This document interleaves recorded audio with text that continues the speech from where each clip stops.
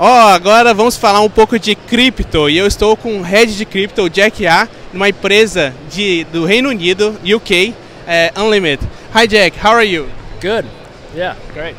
Muito obrigado, Jack, pela sua é, participação aqui. E a primeira pergunta é: o mercado cripto, o mercado de fintechs financeiro, é um assunto aqui do Web Summit e a gente teve vários speakers falando sobre isso. Eu gostaria que você falasse um pouco sobre o mercado cripto, como é que vocês estão observando? So I think that um, fintech and crypto are quickly converging, right? And it's a very exciting time. I mean, I know that in the kind of greater market, in the stock market, you know, we have you know higher interest rates that's causing the cost of capital to be higher for a lot of these uh, fast growth companies to have a lot of problems in the short run. But that doesn't really have anything to do with the technological development that's been progressing over the past 10, 20 years. You know, I mean, even in terms of what's happening in the Web 2 space with banking, banking as a service, you know, uh, neobanks and the ability to spin up store value facilities attached to a credit card or a debit card, attached to a bank account, right, and the ability to transfer value between them right, in these closed loop ledgers, you know, all the innovation that's been happening in the Web 2 space has been very exciting in and of itself,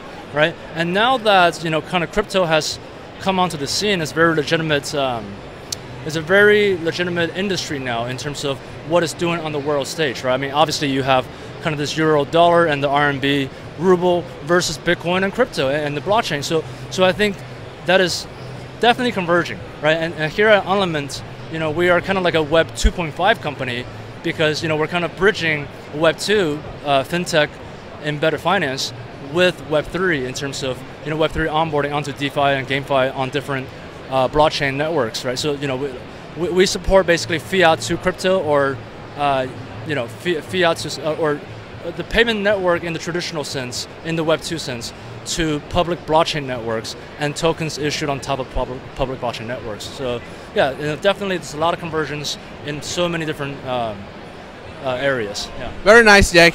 É, você poderia falar um pouco também, você citou aí é, poderia citar um pouco como é que é a sua empresa, o que, que vocês estão é, atuando, como é que é o negócio de vocês? So Elements is a payment company that's been around for 13 years.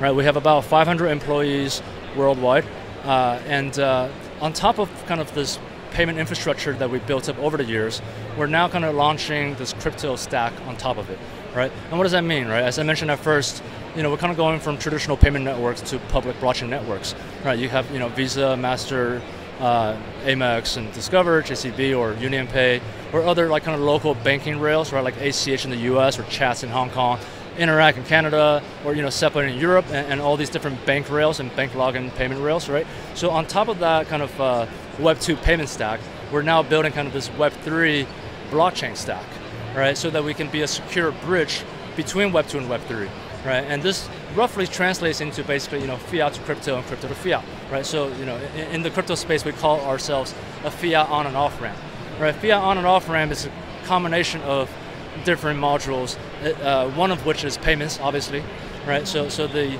the mothership company's Unlimint, on top of which we're building GateFi, right? GateFi by Unlimint is a fiat on-ramp. Nice. E vocês já olharam para o mercado brasileiro, o mercado da América Latina, de alguma forma especial? Yeah, yeah. So, so Unlimint uh, has local acquiring capabilities in Brazil, right? They are locally regulated as a payment institution.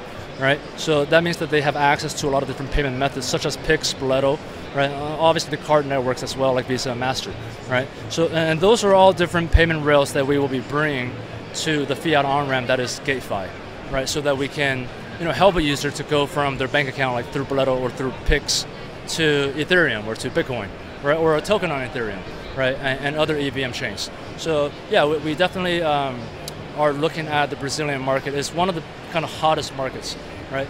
Uh, in terms of growth, in terms of crypto growth, right? And, and, like I'm saying, like this is all in the backdrop of a slowing economy worldwide. That doesn't mean that crypto is slowing, right? Crypto is actually moving blazing fast, right? On a regional basis in different countries, there's more regulatory certainty.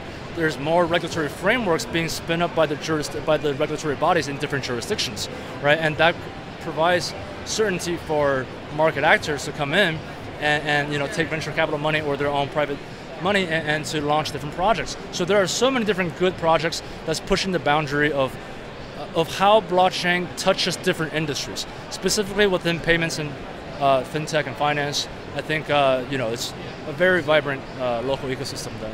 É, e para a gente fechar aqui a nossa conversa, é, Jack, você poderia passar uma mensagem final para a audiência, para alguma tecnologia que eles devam olhar, ou então alguma dica, um insight?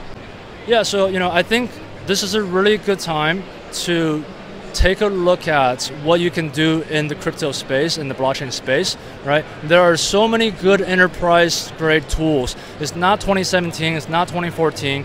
There are so many good enterprise level tools in the blockchain space for node provisioning, for fiat on and off ramp, uh, for other you know DAO tooling, for treasury management, key management, MPC or smart contract wallet. There's so many different enterprise tools out there now that are full of vibrant uh, team and builders, right? And like I'm saying, there is no slowdown in the crypto space.